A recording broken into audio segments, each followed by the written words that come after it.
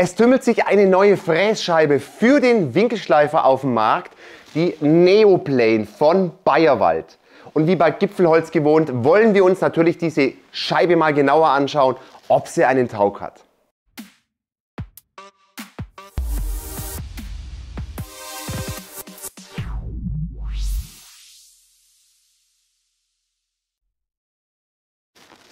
Jetzt bin ich mal echt gespannt, was die neue Neoplane von Bayerwald alles so bringt. Servus und herzlich willkommen bei Gipfelholz. Ich bin der Jens und viele von euch da draußen, die kennen Gipfelholz von den ganzen Frässcheiben, Holzbearbeitungswerkzeuge für den Winkelschleifer, Aufsätze oder sonstiges. Da gibt es eine coole Playlist, die werde ich euch hier oben oder unten in der Videobeschreibung verlinken. Schaut da einfach mal drauf. Da ist bestimmt für jeden etwas dabei, der mit einem Winkelschleifer Holz bearbeiten will.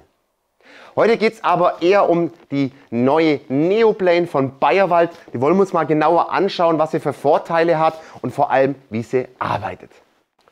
Doch wozu braucht man denn überhaupt so eine Frässcheibe für den Winkelschleifer? Ganz einfach, so eine Frässcheibe ist für manuelles Schnitzen und Fräsen von Holz mit dem Winkelschleifer gedacht, äh, auch für Hartholz, Weichholz, zum Beispiel der Flächenabtrag, Anfasen, Entrinden, Entsplinten und einfach Formen von Holz. Natürlich wollen wir uns die Neoplane mal genauer anschauen. Ähm, Apropos Neoplane, den Neo Carver habe ich schon mal vorgestellt. Das ist äh, das Modell, das könnt ihr euch auch gern nochmal als Video anschauen. Werde ich euch auch noch verlinken. Aber es geht ja um die Neoplane. Jetzt wollen wir mal schauen, was geliefert wird. Es wird geliefert hier in einem Hartschalenkoffer. Jetzt machen wir das Ganze mal auf. Da ist ein Sicherheitsdatenblatt drin. Das bitte einfach mal durchlesen, ist wichtig. Ihr seht jetzt hier die Neoplane verpackt in diesem Hartschalenkoffer. Ihr habt hier noch eine kleine Ausstanzung drin. Da kommen dann die ähm, Ersatzschneiden rein, die wir tauschen können. Aber da kommen wir gleich nochmal zum Sprechen dazu. Ihr seht einen, einen Drehmomentschlüssel. Aber Achtung, wer schon mal den Neo Carver hat, diesen anderen Schlüssel, ich sage jetzt mal Drehmomentschlüssel, den hier, den bitte nicht benutzen denn wir haben hier einen höheren Drehmoment. Also benutzt bitte bei dem Neo Carver auch den Drehmomentschlüssel für den Neo Carver. Wir haben noch Aufsteckschlüssel, um die Schneiden zu öffnen und gut. Jetzt schauen wir uns mal die Scheibe genauer an. Also konzipiert ist sie für 13.300 Umdrehungen pro Minute maximal und ist für Winkelschleifer von 115 bis 125 ausgelegt. Komplette Scheibe wird auch in Deutschland gefertigt. Jetzt nehmen wir es ja mal raus und ich muss jetzt dann gleich mal sagen, es ist eine sehr, sehr hochwertige Scheibe, gleich wenn man sie in der Hand hat, ist aus Aluminium gefertigt. Wir haben ähm, wechselbare Schneiden, Titanium, Nitrit beschichtet und ähm, ist wirklich super hochwertig, wenn man sie schon mal in der Hand hat. Jetzt seht ihr hier auch äh, einige Löcher in dieser Scheibe drin. Die haben schon eine Daseinsberechtigung, denn das sind nämlich, wie nenne ich immer, Durchsichtlöcher. Also man kann auf jeden Fall, wenn wir da unter Rotation kommen, können wir dann unten die Fläche, was wir bearbeiten, einfach sehen. Das werden wir aber nachher einfach mal im Video nochmal anschauen oder im Test einfach anschauen, ob das mit diesen Löchern auch so richtig gut funktioniert. Wir haben jetzt hier an der Seite haben wir auch noch Löcher drin. Da können wir dann den Drehmomentschlüssel mit diesem mitgelieferten Werkzeug können wir hier einstecken und das Ganze dann im Endeffekt ähm, öffnen und die Schneiden rausnehmen. Natürlich schauen wir uns jetzt auch mal diese Schneiden, diese Titan-Nitrit-beschichteten Schneiden auch mal an. Das werde ich jetzt mal einfach öffnen. Ähm, als kleiner Tipp, bitte vor jeder Nutzung dieser Scheibe kontrolliert einfach mit diesem Drehmomentschlüssel, ob auch die Schrauben und die Schneiden richtig befestigt sind. Also bei jeder Nutzung einfach mal ähm, ja, testen. Jetzt holen wir mal die Schneide hier raus. Das haben wir, so einen kleinen Abstandshalter, wie auch immer das man nennt. Ähm, der hat so einen kleinen Nippel hier oben drauf, dass die Schneide genau wieder hier drauf passt. Und wir haben hier unten einen Nippel, und, ähm, oder eine Aussparung für einen Nippel. Denn wir haben in dieser Scheibe haben wir einen kleinen Nippel drin. Wir können diesen, diese Schneiden auch nicht falsch wieder einbauen. Das heißt, wenn ihr diese Schneiden ausbaut und wechseln solltet oder zum Schärfen nehmen solltet, dann könnt ihr diese Schneiden auch gar nicht mehr falsch einbauen, weil es passt nur so rein. Das heißt, wir haben ja hier diesen Nippel drin, diese Aussparung, dann haben wir hier ähm, ein, ein, eine, eine, eine Bohrung und dann hier diesen Nippel. Und das Ganze braucht man nur zusammenstecken und das Ganze wieder rein und können das Ganze dann festschrauben und wie gesagt vor jeder Nutzung einfach nochmal mit dem Drehmomentschlüssel festziehen. Der Vorteil an dieser Scheibe ist definitiv, ähm, wir können sehr, sehr lang mit dieser Scheibe arbeiten und wir können natürlich auch die Schneiden austauschen. Das heißt, man muss die Scheibe nicht gleich wegschmeißen, wenn die Schneiden kaputt sind oder stumpf sind, sondern wir können erst, wenn sie stumpf sind, können wir natürlich diese Schneide erstmal ausbauen ähm, ihr müsst darauf achten, was ihr schleift. Wir können auch ganz leicht nachschleifen, wenn wir da einen kleinen Grat drauf haben oder so. Sollten Beschädigungen drin sein in dieser Schneide, natürlich bitte tauschen. Wir können sie auch einzeln tauschen, ist der Vorteil. Aber wenn wir da so einen leichten Grat haben, dann können wir das abziehen. Das heißt, wir legen diese Schneide einfach auf äh, ein Schleifpad und können das Ganze jetzt, ich sage jetzt mal, ein bisschen entgraten hier oben und das Ganze ein bisschen nachschärfen. Mehr müsst ihr nicht machen und ihr könnt dann die Schneiden danach wieder einbauen. Und wie gesagt, sollte sie kaputt sein, die Schneide, bitte tauschen.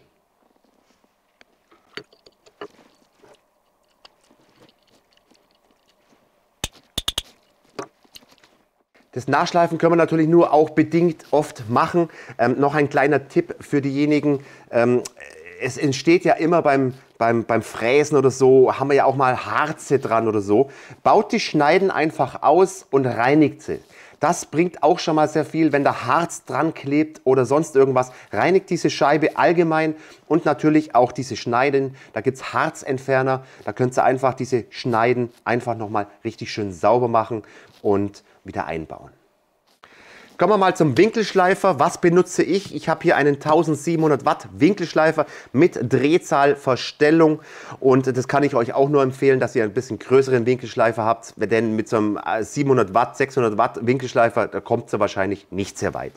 Gut, ähm, wichtig ist, dass ihr eure, ja, euren Schutz immer anbaut und es natürlich so anbaut, wie ihr fräst. Das ist ganz klar, dass ihr da ein bisschen Schutz habt und ähm, der zweite Punkt ist, dass ihr das Ganze immer mit zwei Armen führt. Das heißt, wirklich mit Griff arbeiten und nicht jetzt hier mal mit einer Hand rumschruppen. Das kann gefährlich sein. Deshalb einfach nur hier mit beiden Händen arbeiten und dann ist es überhaupt kein Problem, die Scheibe dann sicher zu führen. Ähm, beim Anschrauben ist es auch kein Problem. Ihr könnt diese Scheibe nicht falsch anbauen. Es geht also so rum, geht es gar nicht zum Draufschrauben. Ihr könnt die Scheibe nur so drauflegen und das Ganze dann mit eurem Flansch von eurem Winkelschleifer festmachen. Bitte benutzt nicht diese Schnellspann-Flansches hier. Ähm, die, es kann passieren, Leute, es kann. Es ist so, es gibt ja ein paar Winkelschleifer, die einen Stopp drin haben. Das heißt, die schalten aus und stoppen sofort. Und da kann es passieren, dass diese Schnellspannmutter, dass der Flansch, dass der sich aufdreht. Und das kann natürlich gefährlich sein. Deshalb empfehle ich euch immer, den Originalflansch zu nehmen von eurem Winkelschleifer und das Ganze dann festzudrehen. Natürlich arretieren und dann mit eurem Schlüssel einfach sicher festziehen, damit die Scheibe sich ja nicht irgendwie lösen könnte. Wenn wir schon beim Thema Sicherheit sind, nochmal kurz erwähnt, immer mit beiden Armen oder Händen führen den Winkelschleifer. Da seid ihr auf jeden Fall auf der sicheren Seite. Nicht, dass das Ding irgendwie mal abhaut oder was auch immer. Wichtig sind auch die Arbeitsklamotten. Schaut, dass sie nicht eng anliegend sind. Das heißt, nicht solche Oversize-Klamotten anziehen, wo dann irgendwelche Sachen hier in den Winkelschleifer oder in die Scheibe reingeraten könnten. Ebenso mit langen Haaren zusammenbinden nach hinten und gut ist. Das Wichtige ist auch noch eine Atemschutzmaske zu benutzen, Gehörschutz natürlich auch. Und das ganze ähm, Holzstaub ist ja, ist ja gesundheitsschädlich, deshalb auf jeden Fall anziehen. Und jetzt bitte lacht nicht, denn ich benutze hier meine Power Cap. Ähm, das ist eine Maske, eine Vollgesichtsmaske, die dann elektronisch mit einem elektronischen Lüfter hier das Ganze belüftet und äh, ich habe da nicht so einen verschwitzigen Mund hier und äh, Luft holen und was auch immer. Das ist dann nach einer längeren Zeit ein bisschen anstrengend mit so einer Maske, deshalb mag ich die am liebsten. Jetzt habe ich gerade ein bisschen Holz geholt, einmal Weichholz, einmal Hartholz. Und wir wollen das Ganze natürlich jetzt mal probieren. Wir wollen die Neoplane einfach mal ein bisschen beanspruchen und wollen mal schauen, was sie so leistet. Aber ich kann euch einen Tipp geben. Ich werde das Ganze bei mir in der Werkstatt machen. Nein, macht es wirklich draußen. Es wird nämlich hier eine riesen Sauerei hier werden. Aber draußen scheint die Sonne ohne Ende. Und ich möchte, dass die Aufnahmen einfach besser werden. Und ich habe keinen Schattenplatz hier, wo ich dann das Ganze filmen kann. Deshalb werden die Aufnahmen für euch hoffentlich besser in der Werkstatt. Aber ich habe natürlich jetzt nachher echt eine Sauerei hier, das Ganze wieder aufzuräumen. Ich richte mal her. Wir sehen uns gleich. Jetzt habe ich noch was vergessen zum Sagen, Leute. Und zwar, wir können nicht an der Seite arbeiten oder fräsen mit dieser Scheibe, sondern wir müssen immer in dieser Bewegung hier bleiben und seitlich fräst er nicht. Hat aber auch einen Vorteil, denn wir können mit Schablonen arbeiten. Das heißt, wir können was aussägen, eine bestimmte Form und können das Ganze an der Schablone nachfahren, denn sie fräst ja nicht an der Seite.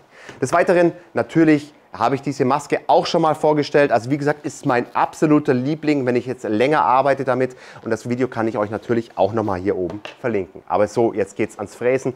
Und ihr werdet mal sehen, ich werde es euch gleich zeigen, dass wir so nicht arbeiten können. Holz ist gespannt. Auf dem Krocklock kann ich euch auch nur empfehlen, kann ich euch unten nochmal verlinken, äh, dass das Holz auch richtig sicher sitzt. Wir werden dieses Holzstück, was ich hier drin habe, ist Weichholz, werden wir das Ganze jetzt erstmal hier schön plan fräsen und erstmal richtig, ja einfach mal bearbeiten. Schauen wir mal, was die Scheibe so bringt. Dann setzen wir mal unsere Maske auf und werden dann mal losfräsen.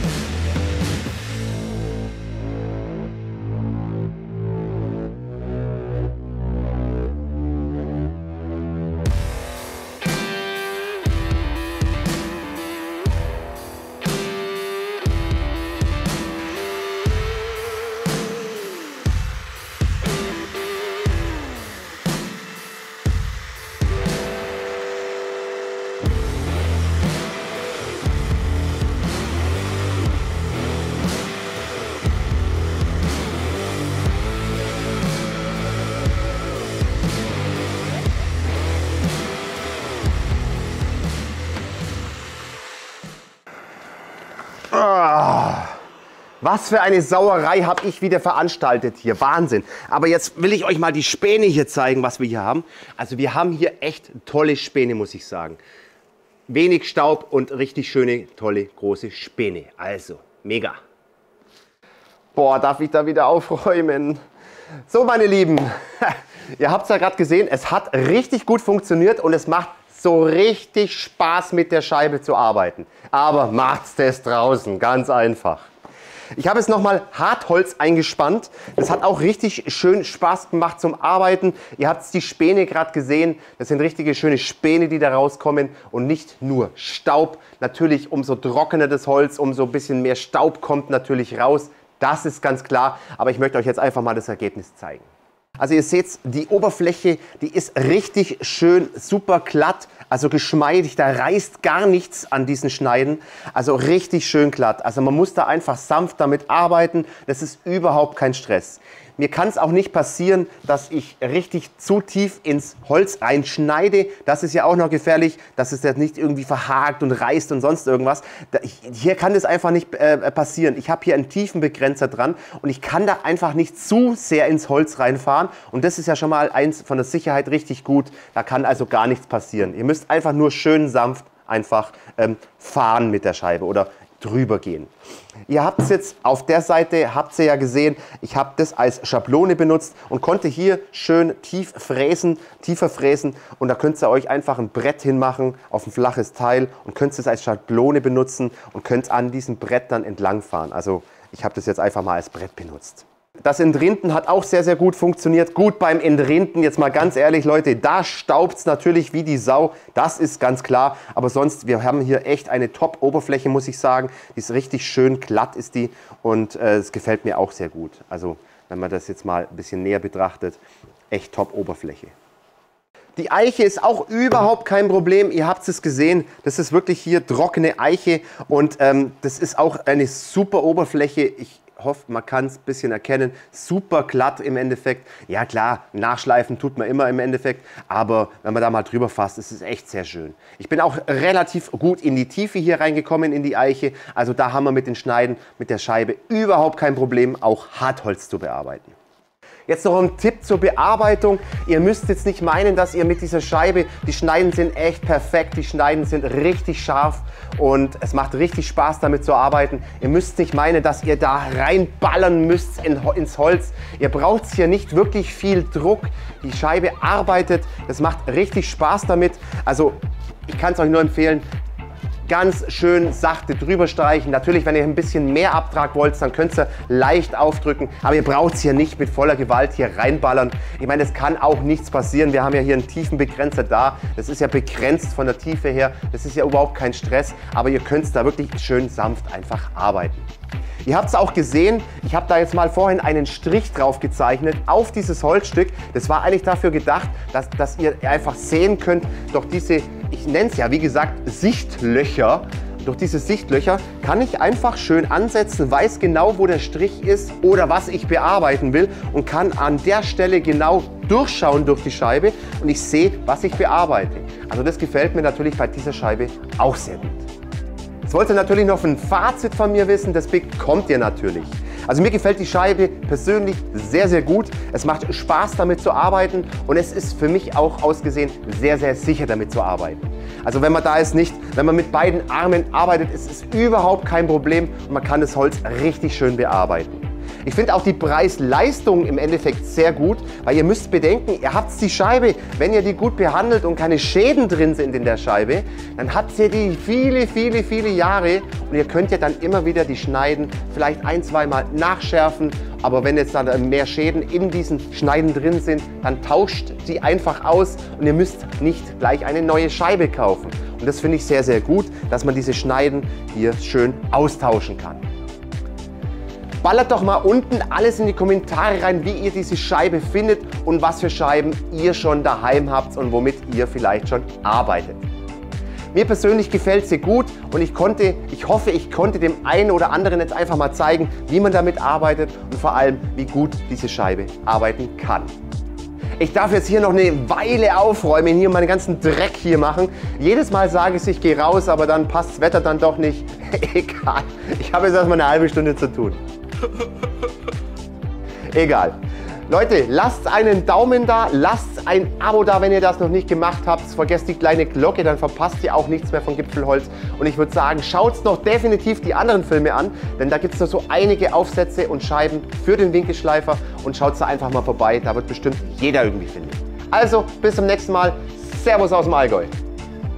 So eine Sauerei, hey. Ah.